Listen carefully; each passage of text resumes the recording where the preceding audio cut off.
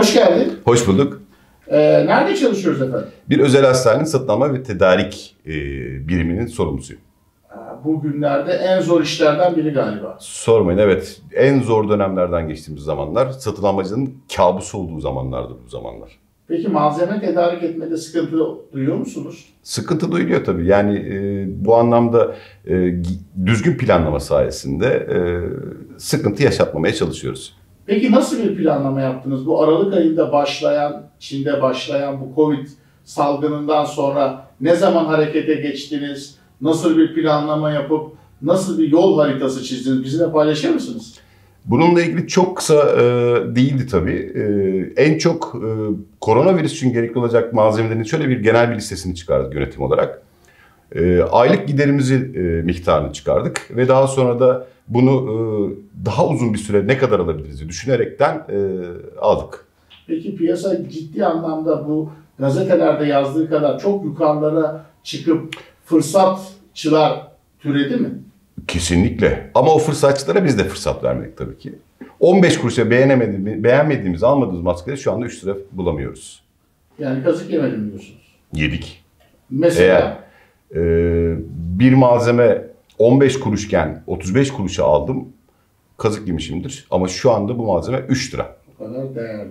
Evet. Peki son devletin, e, hükümetin yaptığı hareketlerle bu malzemelerde gene e, indirimler bekliyor musunuz? Eğer ki devletin el koyduğu e, maskelerden dolayı firmalarda maskeler ellerinde şu anda birçok firma arıyor maske satmak için. Ama tabii fahiş fiyatlarla biz de alınmaya özen gösteriyoruz. Peki hangi malzemeler hazırladınız? Ee, Bu malzeme e, kalemler belli zaten. Eldiven, maske, dezenfektan, tulum, gözlük, siperlik gibi malzemeler. Peki bunu nasıl planladınız? Ne kadar ihtiyacınız olacağını?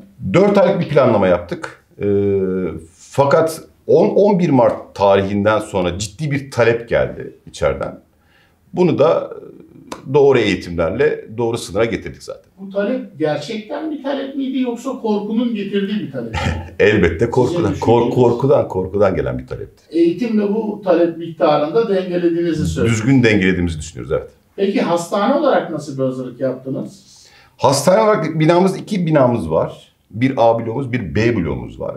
A bloğumuzu özellikle poliklerimizin olduğu alanları dezenfeksiyon işlemiyle e, temizlettirdik. E, B bloğumuzu temiz alan olarak ayırdık. Ameliyat, özel ameliyatlarımızın hastalarını oraya aldık. E, A bloğumuzu da tamamen pandemi amaçlı, korona amaçlı kullanmak için ayırdık.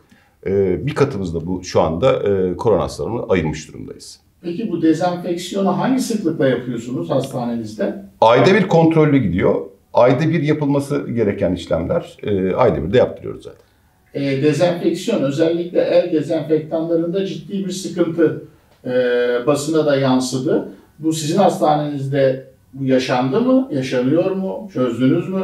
İlk başta e, panik anındaki e, nedenlerden evet bir saldırı oldu yine dezenfektanlar için. Fakat dediğim gibi eğitimlerle ellerimizi sabunlamanın daha doğru olduğunu anlatarak kişilere, çalışanlarımıza bunun daha doğru e, olduğunu düşünerekten bunu da azalttığımızı düşünüyorum. E, hasta odalarında nasıl bir hazırlık yaptınız? Havalandırma sistemimizi e, özel bir e, havalandırma cihazımız var. E, onunla odalarımızın e, mikropartiküllü bakteridir, virüstür tarzı şeylerini havalandırma amacıyla e, bu odalara koyuyoruz zaten. Beni düzeltirseniz yanlışım varsa lütfen. İki tane, iki blok hastaneniz var. Bir Evet. bloğunu pandemi hastanesi yaptınız.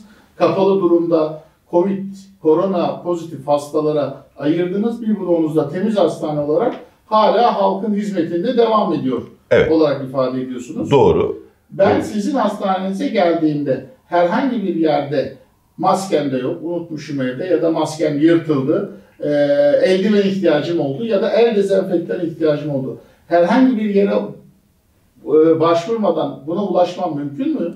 Şu anda zaten biz bununla ilgili çalışmayı bitirdik. E, polikliniklerimize gelen hastalarımız için e, girişte bir sağlık personelimiz var. E, gelen hastalarımızın ateşlerini ölçüyoruz girişlerinde. Dezenfektanımız var girişte. Eğer ki hastamızın maskesi yoksa maskesini de takmasını rica ediyoruz. Kendisine yoksa elinde biz takdim ediyoruz. Ve hastamızın polikliniğe giriş kaydını oluşturmak için yönlendirme yapıyoruz.